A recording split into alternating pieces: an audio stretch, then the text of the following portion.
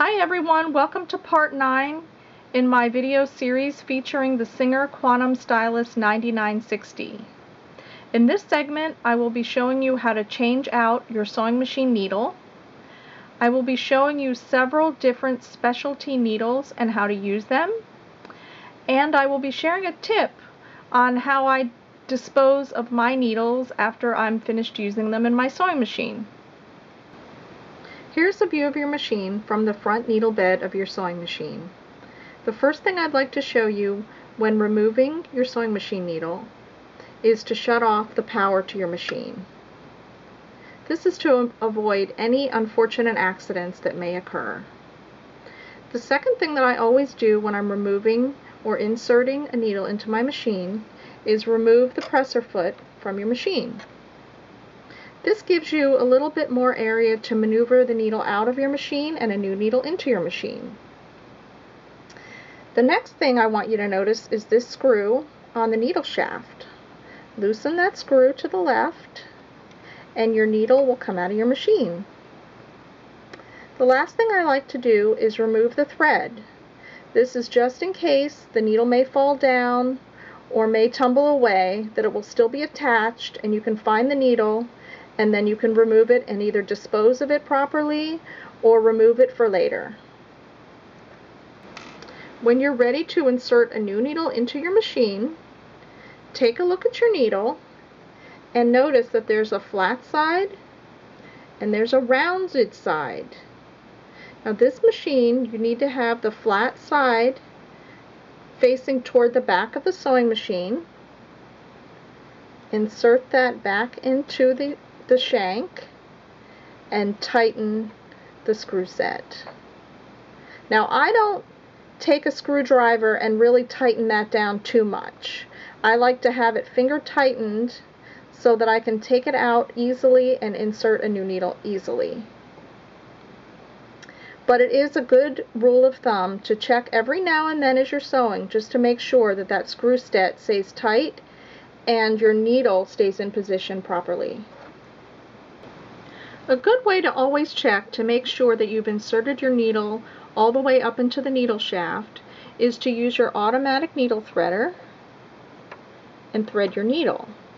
If that little hook in the mechanism comes straight through the eye of the needle like it's supposed to, it will align properly and thread your needle.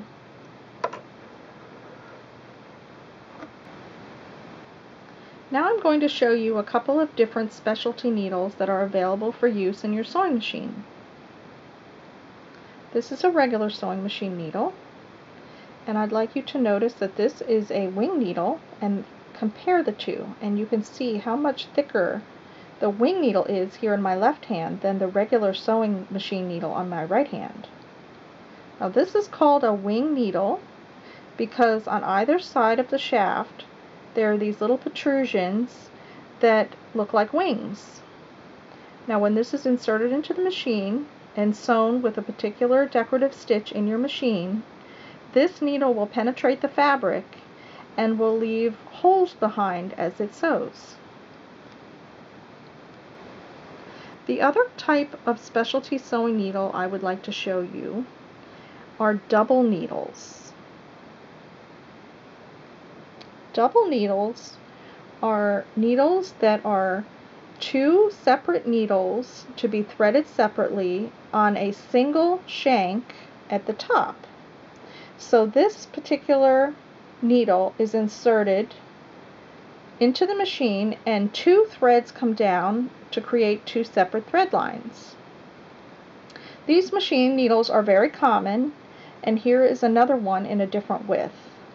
This one in my left hand, the two needles are 3 16ths of an inch apart, and this one in my right hand are an eighth of an inch apart. These come in many, many different varieties. They come in wider varieties as well as triple needle varieties. Here's the front display of my machine. I have it set up to do stitch number 40, which is an X pattern, and I have foot B inserted into my machine. Now the only change that I'm going to make is in the width of my stitch. Notice that it's default set to 6 millimeters. And I'm going to set it to 7, which is the widest that it will stitch. Here I am at the front of my machine and I have my fabric inserted into my machine. I have my foot B on my machine and the wing needle is already inserted into the machine. This is the regular woven poly cotton that I use for all my demonstrations. So I'm going to lower the presser foot and show you what it looks like to stitch with a wing needle.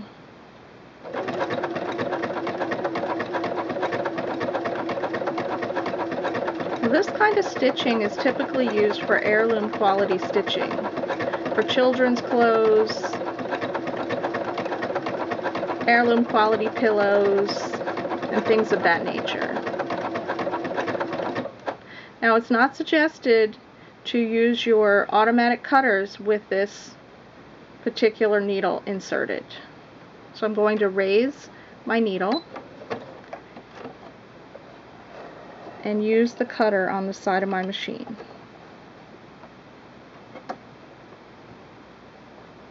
Now if you notice, there's a small hole in the center of the stitch where the thread penetrated and the needle penetrated the fabric.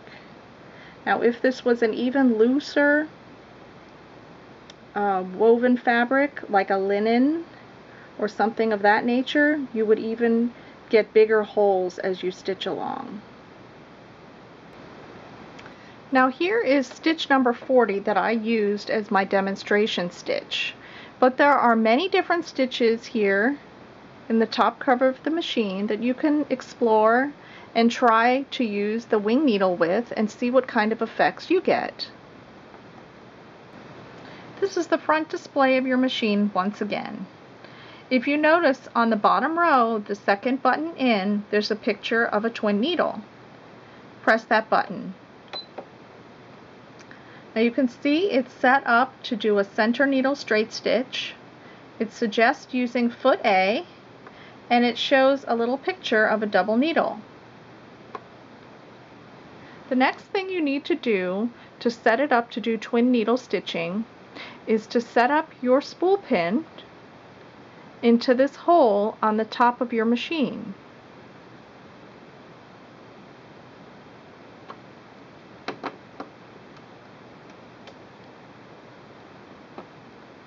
Now from there, you can set your second spool of thread and then thread both of your threads through the machine as usual. Here I am back at the needle bed of the machine and I have foot A, your general purpose sewing foot set onto your machine. I have the twin needle an eighth of an inch apart inserted into the machine and threaded. The left needle is threaded with red thread and the right needle is threaded with pink thread. I have the machine set up to a straight stitch.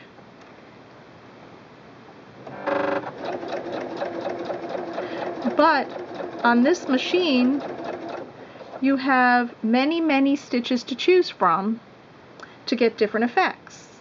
So I'm going to change to stitch number 29 which is a nice scallop stitch for you to see one of the decorative stitches that you could use with your twin needle.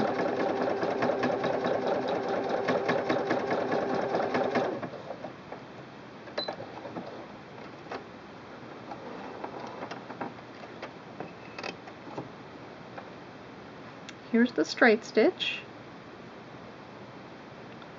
and there's the scallop stitch.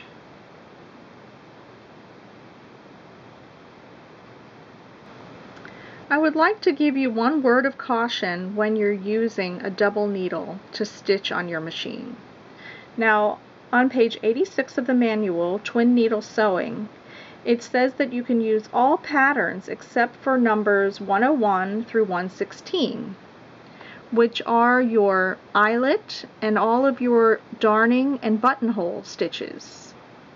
The thing that I'd like to caution you about is the width of the opening on your foot A.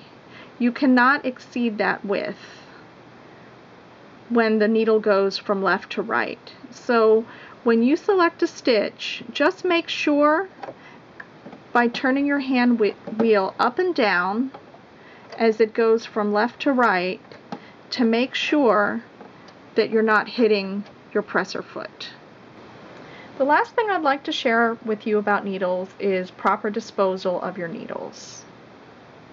What I use is a small candy sprinkles jar left over and I just drop my needles right in this jar so that there's no opportunity for those needles to find anybody's foot. I know it sounds silly, but it always seems to happen. So just be safe and dispose of it in a little jar like this or something similar, and then nobody will complain to you about a needle in the foot. Well, thank you for tuning in to part 9, all about needles, and taking a moment to view my video. I always appreciate it. Have a happy creative day. Bye now.